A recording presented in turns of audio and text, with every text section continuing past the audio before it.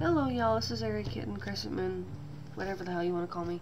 Um, I wanted to do a um, yarn tail update. Cat's attacking me. Um, because now that I have my screen, the last time I did a yarn tail thing, um, I didn't actually have my camera working. So thanks to Draco Wolf, I got it working. So, yarn tail update. Again, go to uh, um, find my other video. I'll put it in an annotation, probably, knowing my luck, up that way somewhere in a corner, somewhere on the screen. So click it, that'll take you to my other video, which will give you a link to Zuhala, who um, is the one who does the tutorial for these things. I'm not going to do a tutorial, I'm not taking that from her. It's not going to happen. But I will update you and show you how I've done it.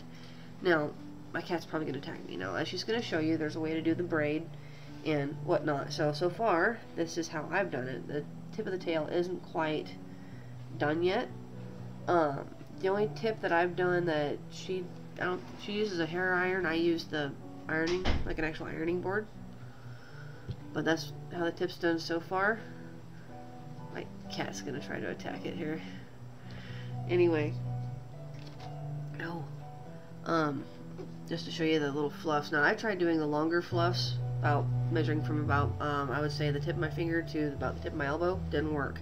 They ended up fluffing out to this, and I almost lost a lot of yarn. So, just basically six, at least six inches worth of fluff, and then you just brush them out with a pet brush. That's what I did. I was gonna make a few and actually brush it out on cam, but take a wire pet brush. This, this thing right here. Yes, earth. This thing right here. Okay, this is what my kid, my roommate, got me for Christmas, so I could do these. Okay, so this little wire hairbrush right here, this thing's actually pretty cool. You can do this and it takes the fuzz right off by pushing this button. Like that, and my cat loves it. I brush her while I'm making my yarn tails. It keeps her out of my yarn. Um, so if you have cats at home, just, you know, give them a quick brush and they should leave things alone. They absolutely love it. And, you know, spend some time with your fur babies while you make your fur tail. We are all fur after all. So... Anywho, that's what I use is this brush right here. Um, yeah, she loves this thing. Absolutely adores it. You know, she's eight months old. Anyway, um, the fur tufts are these. You know, um, you gotta make a ton of them. They look like this until after you iron it. And then after you iron it, it um, gives that nice, sleek, sort of looks like, you know, like that when you're done. Um, you want to have a whole bunch of them. So, like, finish the tip of his tail, I'm doing Draco Wolf's tail right now. Um, I have a whole handful of fluffs. Um, with a good sized base, like this one, um, I've got about six of the fluffs sewn on it. Now, see, the thing is, is like she said on her video, you want to actually sew it. Excuse me. I have a cold, which is kicking my hind end.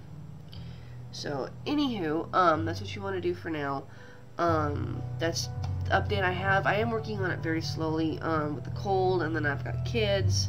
I've got other things going on, so it's usually takes, she said, about 34 to 40 hours for a good tail. I don't have that time to just sit and work on a tail.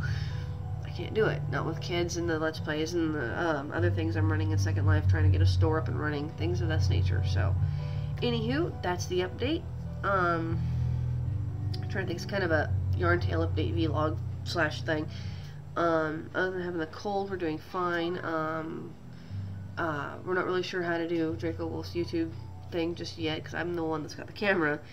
Um, he wants to do things of Skyrim, so he might eventually um, go ahead and use my channel or um, the camera and whatnot for his. So keep an eye out for him. You can find him um, under my subscriptions. Uh, please go ahead and, you know, let's encourage him by giving him a couple of subscribers if at all possible. But, um, past that, the kittens are fine. They're huge. Um, this little one here is my attacker. She loves me at night. But other than being sick and having a cold, there's really not much else to say. Um, I will say I am up to 937 views last I looked, so thank you for that. Um, I do still have 12 subscribers, which is fine. I love the fact that I even have them. So, if you're one of my 12, thank you very much. All I ask is please like and share, if at all possible. So if you're seeing this, you know, again, please like and share the vids when you see them, and hopefully I'll be doing some more. I am going to be doing some kid-related ones uh, for people who have children, um, considering, you know, I have kids. so, anywho, um, hopefully we'll see you, and this is Airy Kitten Crescent Moon, shining out. Bye.